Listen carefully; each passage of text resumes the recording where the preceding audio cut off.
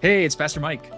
Before we get started with today's episode, I want to encourage you to check out our other Time of Grace podcasts, like the podcast Little Things with Amber Albee Swenson.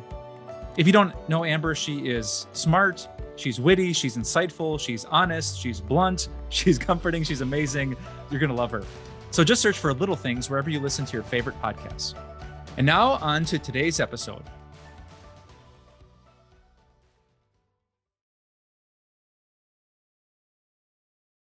Uh, this week, we're talking about burnout at work and what makes an employee who is not burned out. Number one is your identity is in Christ and not in your work. You're finding your value in Jesus as you're being filled up so that you can pour into other people. Number two is that you have enough margin in your life that you are able to pour into other people. So recently, my daughter and I took a trip to Disney World, just the two of us, and we went and one thing you have to know about Disney is the estimated ride times are a complete lie. So you get in line and it says 55 minutes and you get there in 20 and you think, I have just gamed the system. This is amazing. There's only one time it was even close when they announced over the loudspeaker that the ride was running at like half capacity and a lot of times standing in a singular spot, but we still actually got on the ride under the estimated wait time. So why is this? Disney is not stupid. They are putting margin in their estimated wait times so that you're not frustrated if something comes up. Do you do that with your life? Do you do that with work? Do you ever let your phone battery go almost all the way to the end before charging it? Do you ever go on a trip and you have maybe just enough gasoline and you think, I'm fine, but then suddenly there's a detour or you run into traffic and you slow down, you get more and more anxious?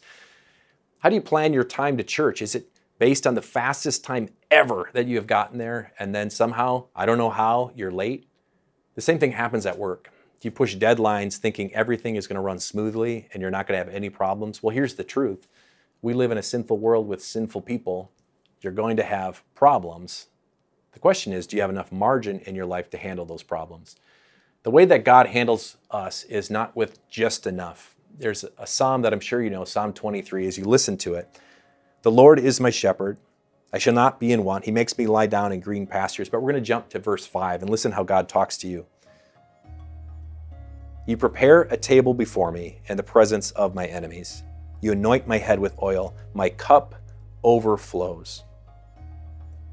Your cup isn't just full. The opposite of full is empty. Your cup is overflowing. And what do we mean by that? God's blessings to you never end. Jesus has adopted you as his children. Jesus has accepted you. Jesus has forgiven you. And Jesus gives you enough smarts to leave margin in your life so that you can function as the best employee that you can be. Let's pray.